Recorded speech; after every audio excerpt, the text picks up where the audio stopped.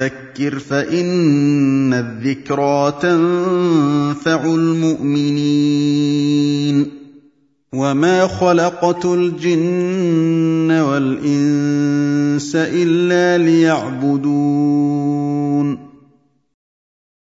الحمد لله وكفى وسلام على عباده الذين اصطفى أما بعد On va parler rapidement de la biographie de ce savant.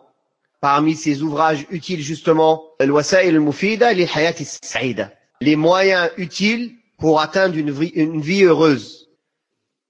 Donc, le cher, c'est Abdurrahman ibn Nasir ibn Abdullah ibn Nasir ibn Hamad al-Si'di al-Tamimi. On peut dire al-Si'di comme on peut dire al-Sa'di. Les savants disent que al-Si'di c'est plus juste. Pourquoi? Parce que sa tribu actuellement à laquelle il s'affilie, elle se nomme elle-même comme ça. Mais en réalité, leur tribu, à l'origine, elle s'appelait As-Sa'di.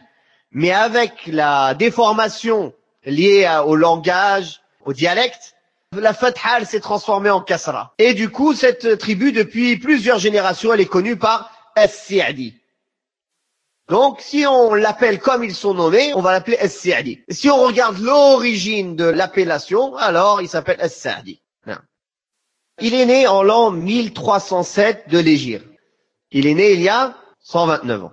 Donc, c'est un savant contemporain. Ça correspond à 1889, selon le calendrier grégorien. Donc, il est né à Unayza, dans la région de Qasim, en Arabie Saoudite.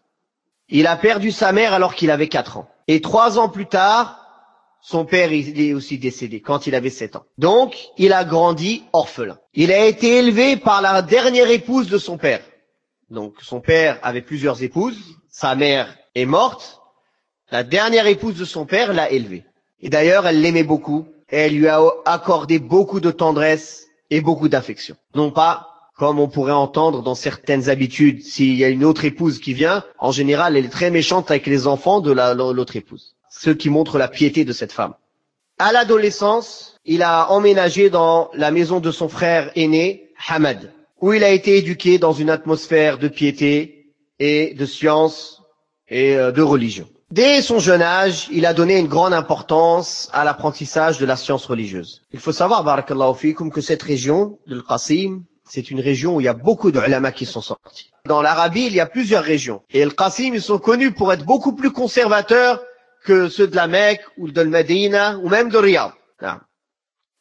Donc, comme on a dit, il a appris le Coran en entier avant l'âge de 13 ans. Et il a commencé très jeune l'apprentissage des sciences islamiques auprès des savants de sa ville, comme le Cheikh Mohammed ibn Abdul Karim al-Shibl et Cheikh Abdullah ibn Aïd, et plus tard avec le Cheikh Ibrahim ibn Jasir et le Cheikh Salih ibn Uthaymin, le juge de Unayza, et d'autres parmi les savants, chacun dans sa spécialité. Il a aussi étudié et il a rencontré le grand savant mauritanien Mohammed euh, Al-Amin Al-Shanqiti, rahimahullah, celui qui a écrit le tafsir Adwa al-Bayan. Il faut savoir qu'à cette époque-là, le roi d'Arabie à l'époque, il donnait une très grande importance à ramener tous les grands savants du monde musulman qui ne pouvaient pas développer leur science dans leur pays. Beaucoup de pays étaient colonisés, n'oubliez pas. Et puis aussi, il y avait des pays où euh, ils n'avaient pas l'opportunité de développer leur science. Donc, ils ont fait venir à cette époque-là et après les époques, après cette époque-là, surtout euh, les, décennies qui ont suivi cette époque-là, de très grands savants de tout le monde musulman, en partant du Maroc, de la Mauritanie, d'Afrique jusqu'en Inde, au Pakistan, des, tous des grands savants dans chaque domaine de l'islam sont venus faire légir et habiter en Arabie. D'où l'Arabie a profité après les grands savants saoudiens sont sortis, qui ont profité en fait de la science de tous les grands savants qui venaient du monde musulman, que ce soit de l'Inde, du Pakistan, du Yémen, d'Égypte, d'Algérie, marocains, mauritaniens, etc. Donc voilà, il faut connaître un peu cette, cette, cette partie de l'histoire pour comprendre comment à un moment donné, certaines décisions politiques, elles peuvent être la cause que la science se concentre dans certains endroits. Et comment ça peut être la cause de préserver une science qui peut être perdue si elle est dispersée. Aussi, il a été dit, il semblerait qu'il a voyagé en Égypte et qu'il a profité à son époque de certains savants de l'Azhar. Et très vite, il a été occupé par la science, par l'apprentissage, par la révision, par l'enseignement. Alors, il a délaissé toute activité, il était libéré que pour la science. Et il n'avait pas le temps d'aller euh, travailler. Il faut savoir qu'il a eu de nombreux élèves. En réalité, ses compagnons, ses amis d'études, quand ils ont vu sa connaissance et sa science et son niveau supérieur à eux, rapidement, ils l'ont pris comme professeur. Ça ne les a pas dérangés de le prendre comme professeur. Souvent, on va trouver des amis, la jalousie s'installe entre eux. Il va dire, ah, je le connais depuis qu'il est tout petit, lui. Comment ça, c'est mon professeur? Ou il ne va pas aimer s'asseoir devant quelqu'un dont il connaît la vie privée ou dont il connaît certains détails. Ça, cette personne, en vérité, il, il s'est fait du mal qu'à lui-même. Il se prive du bien. Et ça, on le trouve beaucoup dans la biographie des grands savants. Leurs amis d'études, ils sont devenus leurs professeurs. Donc, dès son adolescence, le cheikh a commencé à enseigner à ses camarades, en même temps qu'il apprenait. Et on dénombre près de 150 élèves de Cheikh Siadi, dont un peu plus de 40 ont marqué leur époque et ils ont occupé des hautes fonctions religieuses. Donc, c'est un savant qui a formé des savants, dont le plus, un, le plus connu d'entre eux, Cheikh Mohammed bin Salih al-Uthaymin, rahimahullah.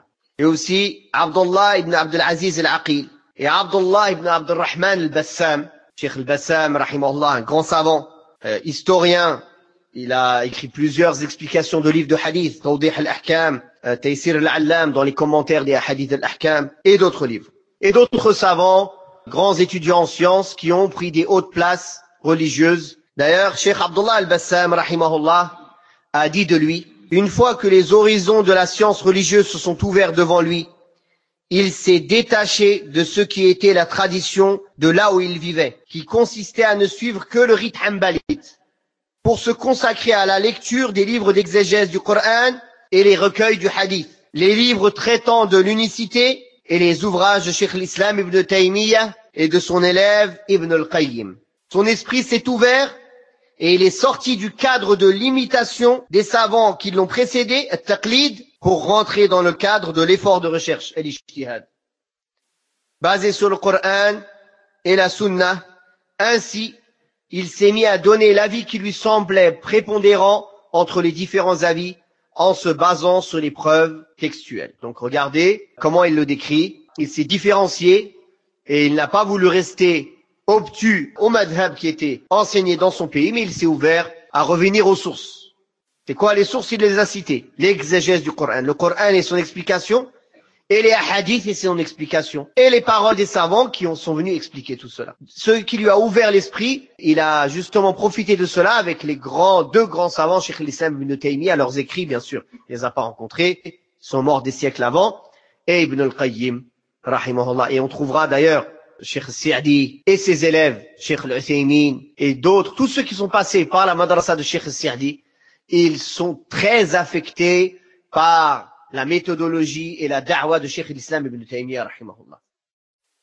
Le Cheikh Siadi, Cheikh Abdullah ibn euh, Abdullah al-Aqil, il témoigne concernant sa personnalité et il dit la personnalité de notre Cheikh, et j'ai eu l'occasion de le côtoyer de près, est l'alliance de ceux qui fait les grands savants, c'est-à-dire le sérieux avec la simplicité, l'étendue de la science avec la modestie, l'audace à se prononcer pour la vérité avec la sagesse, la patience, le sang-froid, l'indulgence, la bienveillance, la générosité et le comportement exemplaire.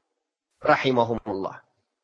Sa mort, le Cheikh Rahimahullah est décédé le 23 Jumad al-Akhira de l'an 1376 de l'Égypte. Il est décédé il y a 60 ans. Rahimahullah. Laissant trois fils derrière lui.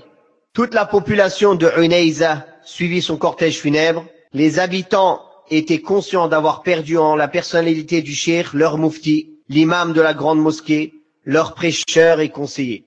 Il avait été pour eux pendant près de 50 ans un exemple à suivre, autant dans la science et son apprentissage que dans le comportement et les relations sociales. Qu'Allah lui fasse miséricorde. Euh, il a laissé plus d'une trentaine d'ouvrages, certains sous forme d'épîtres courts et d'autres plus longs. Et l'ensemble de son œuvre, elle a été rééditée, toute son œuvre, dans une majmoua qui s'appelle Majmou'at al-Si'di, en 26 volumes, qui sont très profitables. Son ouvrage le plus connu, c'est son tafsir du Coran, son exégèse, Al-Karim al-Rahman, fi tafsir al-Mannan. Aussi, son livre, Minhaj al-Salikin, dans la jurisprudence, qui est un classique qui est étudié maintenant dans toutes les écoles d'Arabie. Et dans le domaine du hadith, il a écrit ce livre, Bahjatu Qulub al-Abrar. Un livre où il a réuni 99 hadiths dans plusieurs sujets, comme on a dit, avec une explication succincte de chacun de ces hadiths.